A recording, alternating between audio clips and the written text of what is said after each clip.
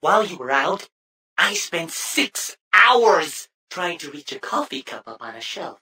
When I finally got it down, I was so happy I cried. I hate my life.